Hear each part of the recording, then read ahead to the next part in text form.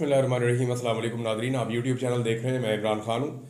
मियाँ नवाज़ शरीफ साहब ने अपना रिकॉर्ड टूटने नहीं दिया, बल्कि मियाँ साहब का जो सबसे करीबी आदमी है, उसने भी मियाँ साहब के नक्शे कदम पर चलना पसंद किया। दोनों पाकिस्तान छोड़कर चले गए। कुर्सी जैसे ही छिनी, वैसे ही जो है वो जहाज़ की कुर्सी जो है वो बुक हो गई। यानी या तो कुर्सी पर बैठेंगे, और अगर कुर्सी नहीं रहेगी तो फिर जहाज़ की कुर्सी पर बैठेंगे, और पाकिस्तान छोड़कर अपने देश चले जाएँगे। काजी फ़ायद ईसा ने 24 घंटे पाकिस्तान में नहीं निकाले। यानी जिन जजेस ने उनको इज़्ज़त बख्शी, उनकी अलविदाई तकरीब में आए। काजी साहब ने उन जजेस की भी तकरीब में शिरकत करना गवारा नहीं किया। यानी justice Yahya Afridi, chief justice of Pakistan बने। बहुत सारे लोगों ने उसमें शिरकत की, लेकिन काजी फ़ायद ईसा उसमें शिरकत किए बगैर पाकिस्तान से चले गए। ये वो शख्स है जो चीफ जस्टिस ऑफ़ पाकिस्तान के अहदे से उतरने के बाद 24 घंटे पाकिस्तान में नहीं रुक सका। बातें करता है हुबुल वतनी की, बातें करता है पाकिस्तान की, बातें करता है आइनी पाकिस्तान की, बातें करता है इंसाफ की, सरबुलंदी की, बातें करता है इंसानी हकूक़ की। लेकिन हालत यह है कि जिस मुल्क का वो चीफ जस्टिस था, वो अपने अहदे से उतरने के बाद 24 घंटे भी उस मुल्क में नहीं गुजार सका, बल्कि मुल्क को छोड़कर निकल लिया। और मियाँ नवाज़ शरीफ साहब की रवायत जो है उस पर चलना शुरू कर दिया। अब काजी फायद ईसा साहब जो है, वो इस मुल्क में फस्तायत का एक बाज़ार गर्म करके छोड़ कर गए आलमी रिपोर्टें आ रही हैं कि पाकिस्तान में जो लॉ एंड ऑर्डर की सिचुएशन है, जो अदलिया की सूरत हाल है, वो दुनिया के 142 मुल्कों में से 140वें में पाकिस्तान है।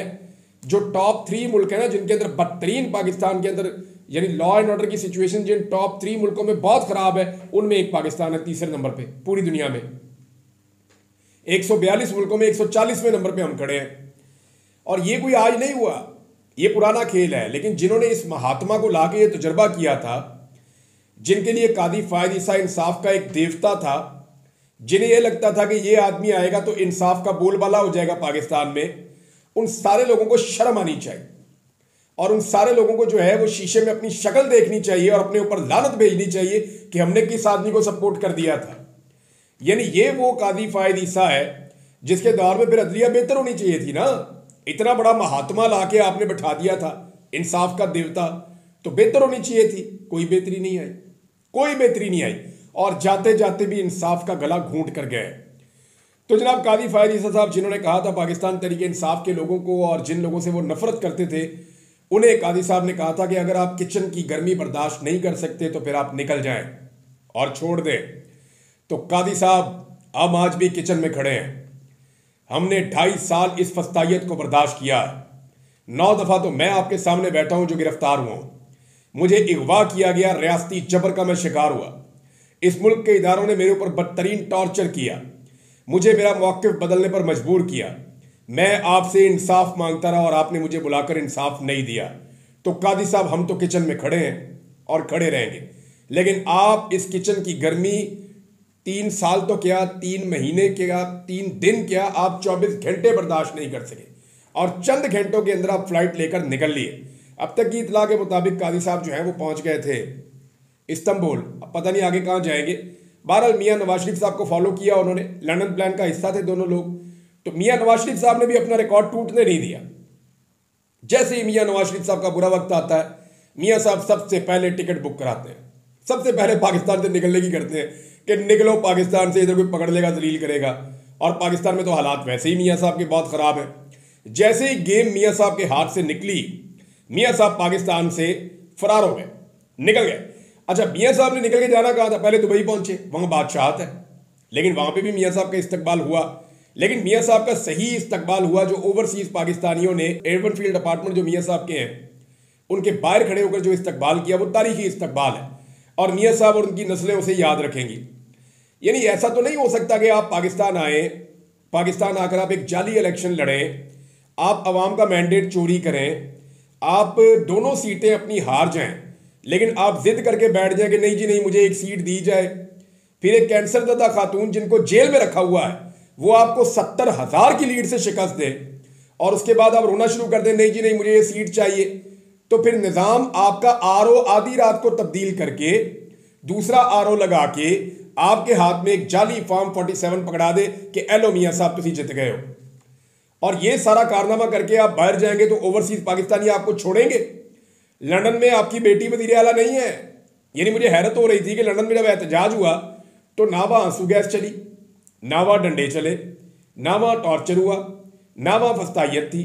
ना लंदन में जो है वो दफ़ा एक सौ चवालीस का नफाज हुआ, ना वहाँ पे लोगों को गिरफ़्तार किया गया, ना वहाँ पे किसी ने रबड़ की गोलियाँ चलाई, कुछ भी नहीं हुआ। ये वही होगा जहाँ नवाज़ शरीफ और उसका ख़ानदान होगा, जहाँ ये ालिम रहेंगे, जहाँ पाकिस्तान की इस्टेब्लिशमेंट और पाकिस्तान की फस्ताइत ज़दा हुकूमतें होंगी, वहीं पर ये सारी हरकतें होंगी। और कहीं नहीं होगी। दुनिया को इस बात की समझ आ गई है कि हम जिन लोगों से टैक्स लेते हैं, वो हम पे एहसान करते हैं। हमने उनका एहसान मानना है उनकी खिदमत करनी है। पाकिस्तान में उल्टा सिस्टम है। अवाम से टैक्स लेते हैं, अवाम इन्हें पैसे देती है, ये अवाम के ऊपर ही बादशाह बन के बैठ जाते हैं। फिर अवाम को डंडे भी मारते हैं, अवाम को सोटियाँ भी मारते हैं, अवाम को रबड़ की गोलियाँ भी मारते हैं, उन पर आँसू गैस भी फेंकते हैं, उनकी बात भी नहीं सुनते, उनके ऊपर टैक्सेस भी ज़्यादा लगाते हैं और उनके लिए ज़िंदगी को तंग भी कर देते हैं, फिर इंसाफ नाम की कोई चीज़ भी उनको अवेलेबल नहीं है। ये सिर्फ़ पाकिस्तान में हो सकता है। मुआवजे मुल्कों में ऐसा नहीं होता। बहरल मियाँ नवाज़ शरीफ साहब का जो आइडिया है, वो हमेशा से बहुत अच्छा रहता है। उन्हें बिल्कुल वक्त से पहले पता लग गया कि अब बुरा वक्त आ गया है। लिहाजा निकल लो पाकिस्तान से। तो नवाज़ शरीफ साहब एक मरतबा फिर अपनी रवायत को बरकरार रखते हुए पाकिस्तान से फरार हो गए। वहाँ ओवरसीज पाकिस्तानियों ने बेहतरीन नारेबाजी के साथ मियाँ साहब का इस्तेमाल किया और उन सबका जो सबसे फेवरेट नारा था, जो ज़्यादा मैंने सुना वो ये था कि मरियम के पापा चोर हैं। ये नारा सबसे ज़्यादा ओवरसीज पाकिस्तानियों ने लगाया। आप रिकॉर्ड निकाल कर देख भी सकते हैं। बहरहाल, मियाँ साहब ने अपनी कुत फैसला से काम किया और फौरी तौर पर निकल लिए। मियाँ साहब अच्छी तरह जानते हैं कि उनका दौर ख़त्म हो गया। मियाँ साहब को आइडिया है कि अब इस निज़ाम के पास इमरान खान के सामने घुटने टेकने के अलावा और कोई रास्ता नहीं है। जितने रास्ते थे, सारे अपना कर देख लिए और अब खबरें कुछ ऐसी आ रही हैं। मिसाल के तौर पे एयर वाई के ऊपर टिकट चल रहे थे। मैंने सोशल मीडिया पे देखे हैं। खुद मैंने वो खबर नहीं देखी। लेकिन हुकूमत कुछ इस तरह के फैसले कर रही है कि मुमकिन है कि हुकूमत छोड़ने पर रजामंद हो जाए। और हुकूमत जो है, वो हुकूमत को ख़त्म कर दे। वो इसलिए कि उन्हें लगता है कि इदारों ने उनको वो सपोर्ट नहीं दी, जो सपोर्ट उन्हें बड़े बड़े मामला में मिलनी चाहिए थी। लेकिन सपोर्ट तो मिली नहीं। अब काजी फायद ईसा साहब को क्या कोई और होता मिल जाएगा? देखें, काजी साहब की शख्सियत ऐसी उन्हें कुछ भी मिल जाएगा, वो ले लेंगे। और वो दोबारा अहदे पे बैठने की कोशिश करेंगे, क्योंकि बड़े बदमजा होने वाले हैं कादी साहब। ये दुनिया के जिस जमहूरी मुल्क में जाएँगे, अगर पाकिस्तानियों की इन पर नज़र पड़ गई तो कादी साहब की अच्छी, खासी इज़्ज़त अफजाई हो जाएगी। मियाँ नवाज़ शरीफ साहब को तो इज़्ज़त अफजाई की आदत पड़ गई है। तो कादी साहब वहाँ पे जो मुस्तफ़ीन साहब थे, वकील साहब जिन्होंने कादी साहब पे थोड़ी सी तनकीद की थी सुप्रीम कोर्ट ऑफ़ पाकिस्तान में तो उनको इतनी मार पड़वाई, इतनी मार पड़वाई कि वो लोगों को पहचान नहीं पा रहे। बेड़ा गर्क कर दिया पकड़ के एक वकील का। बहुत ज़बरदस्त तरीके से कादी साहब ने टॉर्चर करवाया उनके ऊपर। अब वो जो बेचारे वकील साहब हैं, उनकी जो हालत है तो कादी साहब ऐसा कुछ यूरोप में आप नहीं कर पाएँगे। जिन मुल्कों में डेमोक्रेसी है, जमहूरियत है, वहाँ पे आप ये नहीं कर पाएँगे। लोग आपके मुँह के ऊपर आकर आपको आईना दिखाएँगे, आपको बताएँगे कि आपने पाकिस्तान में क्या किया है। बहरहाल कादी साहब बहुत बदमजा होने वाले हैं। मैं आपको ये पहले बता रहा हूँ, अल्ताफ हुसैन साहब ने भी मियाँ नवाज़ शरीफ साहब को ताने देना शुरू कर दिए। अल्ताफ हुसैन साहब ने क्या कहा? उन्होंने कहा जी कि लंदन आमद पर अल्ताफ हुसैन की जानब से नवाज़ शरीफ को खुश आमदीद। बहुत बेआबरू होकर तेरे कूचे से हम निकले। वज़ीर अजम बनने के लिए आपको फॉर्म फोर्टी सेवन पर जितवाया भी गया, मगर अफसोस के सारी उम्मीदें ज़मीन पोस हो गई और आपको एक मरतबा फिर मुल्क छोड़ना पड़ा। वैसे पाकिस्तानी इस्टेब्लिशमेंट को मैं मान गया हूँ। अच्छा खासा तीन दफ़ा का वजी अजम था, उसका बोना बना के रख दिया। ये मैं मैं सीरियसली आपको कह रहा हूँ कि पाकिस्तानी इस्टेब्लिशमेंट ने अगर किसी सियासतदान से टिका कर बदला लिया है ना तो वो नवाज़ शरीफ से लिया है। यानी नवाज़ शरीफ ने इस्टेब्लिशमेंट को चैलेंज किया, बगैर पब्लिक सपोर्ट के चैलेंज वो करे जो खुद साफ़ हो। जिसने कभी करप्शन ना की हो, बेईमानी ना की हो मनी लॉन्ड्रिंग ना की हो, दो नंबरी ना की हो तो वो बंदा चैलेंज कर तो अच्छा भी लगता है। अब मियाँ नवाज़ शरीफ साहब ने मुँह चुक के हीरो बन के एस्टेब्लिशमेंट को चैलेंज कर दिया। एस्टेब्लिशमेंट ने ऐसा कमाल बदला लिया ना मियाँ साहब से। मियाँ साहब का छोटा सा कोना बना दिया। वहाँ लंदन में बच्चे दलील कर रहे हैं। और वो नारे लगा रहे हैं। मियाँ साहब के आगे आगे भागते हैं चोड़ चोड़ के नारे लगाते हैं। तो ये जनाब मियाँ साहब की वहाँ सूरत कर दी गई है। जबकि अगर एस्टेब्लिशमेंट से किसी ने बदला लिया तो वो आसिफ अली जरदारी ने लिया। यानी जरदारी साहब सियाणे हैं। उन्होंने एस्टेब्लिशमेंट से बदला लिया है कि सारा मलबा एस्टेब्लिशमेंट पे गिर गया।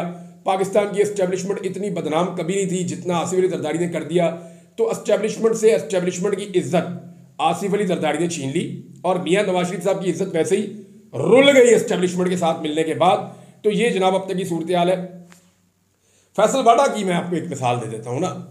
फैसल बाडा दिन रात बेचारे तारीफ़ें कर कर के, खुशामदें कर कर के हलकान होते जा रहे हैं। कभी इधर खुशामद, कभी इधर खुशामद। बूट तक उठा के टेबल के ऊपर रख दिया। बहुत कुछ किया फैसल वाटर ने, बड़ी कुर्बानियाँ उनकी पाकिस्तानी इस्टेब्लिशमेंट के लिए। लेकिन आप अंदाज़ा करें ना कि ओहदे सारे ले गया मोहसन नकवी। खुशामदे कर करके हलकार हो गए फैसल वाडा और ओहदे सारे ले गया मोहसन नकवी। तो ये भी एक ज्यादती होती है पाकिस्तान में, इसकी तरफ़ तोज्जो देनी चाहिए। अब जो बड़े फैसले हैं, पहले दिन के जो आए जस्टिस से या अफरीदी साहब की जानब से, आज क्योंकि छुट्टी का दिन है, कल से बाकायदा चीज़ों का आगाज़ होगा।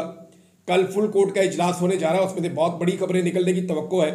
जो कोर्ट रिपोर्टर्स हैं, वो ये कह रहे हैं कि अभी आप देखते जाएँ कि होगा क्या। बहरहाल प्रैक्टिस एंड प्रोसीजर कमेटी जो है उसको तब्दील कर दिया गया है।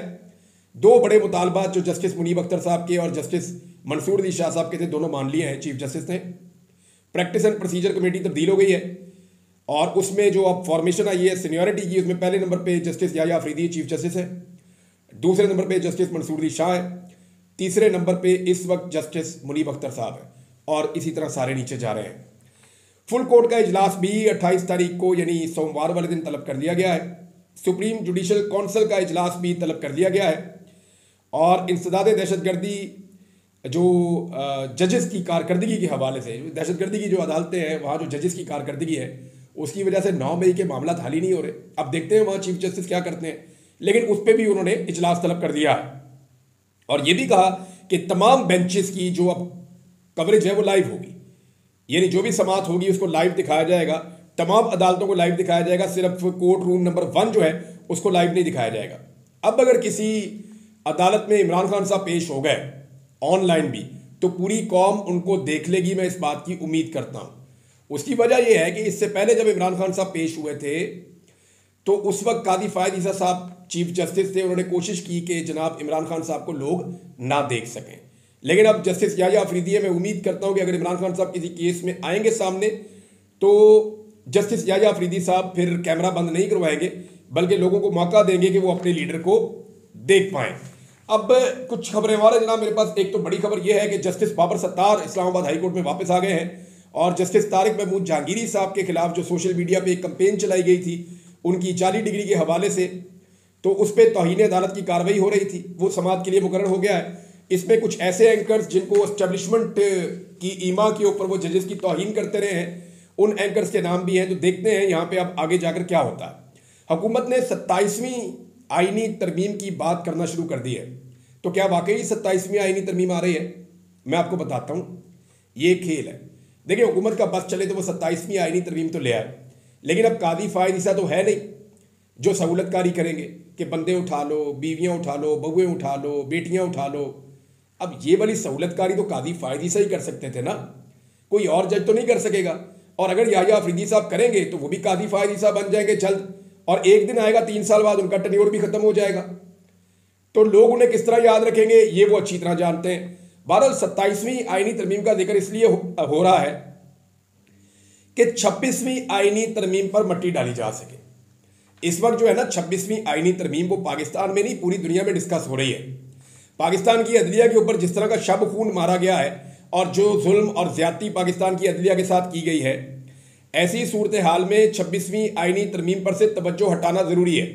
तो छब्बीसवीं आईनी तरमीम पर से तवज्जो हटाने के लिए इस वक्त सारे रल मिल के कोशिश कर रहे हैं कि कुछ भी करो, इस पर पर्दा डालो और इसका एक तरीका यह है कि इनको सत्ताईसवीं आईनी तरमीम की मुसीबत डाल दी जाए। कि जनाब, हम एक और तरमीम लेकर आ रहे हैं, पहले उसका सोचना शुरू कर दो, छब्बीसवीं को आप भूल जाओ। लेकिन छब्बीसवीं आईनी तरमीम जब तक रिवर्स नहीं होगी, तब तक पाकिस्तान का आइन जो है, वो अपनी असली हालत में वापस नहीं आएगा। यहाँ पे अदलिया के ऊपर एक अटैक कर दिया गया है और अदलिया की हालत वो कर दी गई है कि न तीन में न तेरह में। यानी अदलिया के दांत ही तोड़ दिए गए हैं। Justice Yahya Afridi chief justice तो बने हैं, लेकिन प्राय नाम हो गए। वो इतने इख्तियार नहीं है जितने कादी फायद के पास थे।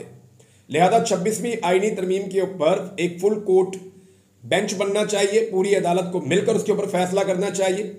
और ये ज़रूरी नहीं है कि तमाम मामला आईनी अदालत में जाएँगे। ये मामला जो है, फुल कोर्ट में भी जा सकता है, क्योंकि ज़्यादा अहमियत का हामिल मामला है। लिहाजा आईनी तरमीम को फुल कोर्ट में भी ले जाया जा सकता है। मैं इस पर लीगल ओपिनियन लूँगा वकला की, और फिर मैं आपको बताऊँगा कि एक्चुअली इसमें क्या हो सकता है। फजल रहमान साहब ने नादरी ने एक स्टेटमेंट दिया है। पहले मैं आपको स्टेटमेंट पढ़ के सुनाता हूँ, फिर मैं आपको उसकी हकीकत बताता हूँ। फजल रहमान साहब ने मुतालबा किया कि मुल्क में एक बार फिर नए इंतबात करवाए जाएँ।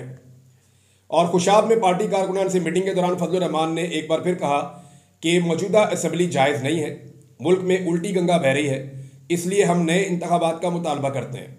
उन्होंने कहा कि हमने अभी भी अपोजिशन का फरीक बनकर हुकूमत से बात की और मुस्तबिल में भी हुकूमत के साथ इतिहाद का हमारा कोई इरादा नहीं है, बल्कि अपोजिशन में ही बैठेंगे। छब्बीसवीं आइनी तरमीम के मुसवदे में असल मवाद को किसी और तरमीम में शामिल नहीं होने देंगे, यानी हम सत्ताईसवीं आइनी तरमीम नहीं होने देंगे। उन्होंने कहा कि पाकिस्तान तरीके इंसाफ को रिहाइयों की सूरत में मिलने वाले रदीफ पर कोई बात नहीं करूँगा। कौन सी रिहाइयाँ? सिर्फ़ एक बुशरा बीबी की रिहाई हुई है और उन्हें गैर कानूनी और गैर फजल रहमान साहब की सियासत जो है ना, वो बाद अवत मुझे ऐसा लगता है कि घिन आती है। भाई आप आलम दीन आप सच बोले। आप बताएँ कि पाकिस्तान की तारीख में किसी औरत के साथ इतना जुल्म और ज़्यादा इस तरीके से नहीं की गई जो इमरान खान की बीवी के साथ कर दी गई है। इद्दत का घटिया केस उसके ऊपर बना दिया। बगैर केस के उसको जो है वो नौ महीने से उसको जेल में रखा हुआ है। अब उसकी रिहाई हुई है तो आप उसको डील की बातें अब तासुर दे रहे हैं मौलाना साहब। इमरान खान की बहनें जो हैं, वो अकेली खड़ी हुई थी, उन पर दफ़ा एक लगा के और दहशत गर्दी के मुकदमे डाल दिए। बजाय इसके लिए आप इसकी मजम्मत करें, आप इन रिहाइयों को डील की तरफ़ इशारे दे रहे हैं। तो फजल रहमान साहब जो है ना, वो बहुत अजीब किस्म की सियासत करते हैं। देखिए, अब ये कह रहे हैं कि जाली असम्बली है। ये जाली असम्बली है, इससे मैं अगली तरमीम नहीं होने दूँगा। ये जाली असम्बली है, इसलिए दोबारा नए इलेक्शन करवाए जाए। लेकिन इसी जाली असम्बली से इसी फजल रहमान ने आईनी तरमीम पास करवा दी है। यानी जाली असम्बली उस वक्त नहीं थी जब आप आईनी तरमीम पास करवा रहे थे। अगर फजल रहमान साहब इस गुनाह बे बेलज्जत में शामिल ना होते तो मैं आपको यह बता रहा हूँ कि आईनी तरमीम ना हो सकती। और अगर फजल रहमान के बगैर आईनी तरमीम होती तो वो जो तिरसठ ए वाला मामला और ये सारे मुद्दे खुल जाते और ये आईनी तरमीम एक वक्त आता कि रिवर्स भी हो जाती है और इंतहाई इंतहाई कंट्रोवर्शल होती फजल रहमान साहब ने पूरी सहूलतकारी फ्राहम की है इस निज़ाम को। हमेशा फ्राहम की है। फजल रहमान साहब स्टेटस को के हमेशा ज़्यादा करीब रहते हैं और स्टेटस को के साथ ज़्यादा कंफर्टेबल भी रहते हैं। लिहाजा फजल रहमान साहब जो है वो वही सियासत करेंगे जिसमें उनको चार सीटें ज़्यादा मिल जाए। वो चार सीटें पहले उन्हें कम मिली हैं, अब वो चार सीटें बढ़ाने की कोशिश करेंगे और वो इन सीटों से आगे कभी इसलिए नहीं निकल पाएँगे क्योंकि उनकी सियासत जो है वो बहुत छोटी सोच के साथ आगे बढ़ती है। यानी छोटे से फ़ायदे के लिए उन्होंने एक ऐसी आईनी तरमीम पास करवाई और झूठे वादों के साथ पास करवाई, जो अब पूरे पाकिस्तान के गले पड़ी हुई है। अब तक के लिए इतनी अपना ख्याल रखिएगा अपने चैनल का भी। अल्लाह हाफिज़।